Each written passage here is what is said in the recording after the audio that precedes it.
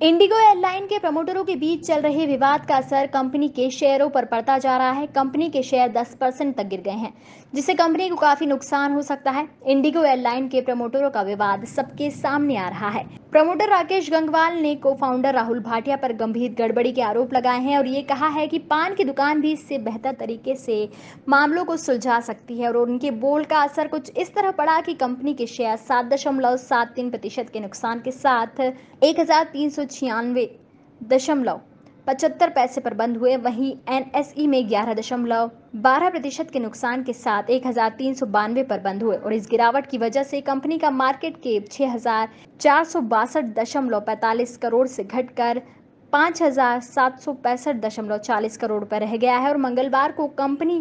के मार्केट के और मंगलवार को कंपनी का मार्केट केप साठ हज़ार दो सौ सत्ताईस दशमलव पिचासी करोड़ रुपए था। कंपनी के सीईओ राय दत्ता ने बुधवार को कर्मचारियों को पत्र लिखकर ये कहा कि विवाद सुलझा लिया जाएगा, मगर इस मामले में एयरलाइन का कामकाज प्रभावित नहीं होगा। इंडिगो देश की सबसे बड़ी एयरलाइन है और 2004 में राकेश गंगवाल और राहुल भाटिया ने इसकी स्थापना की थी। और इसकी पहली उड़ान 4 अगस्त 2006 से शुरू हुई थी, लेकिन अब कंपनी के प्रमोटरों की आपसी खींचतान के चक्कर में कंपनी के शेयर में भारी गिरावट देखी जा रही है और इससे कंपनी को काफ़ी नुकसान हो रहा है। Subscribe our channel and press the bell icon for more updates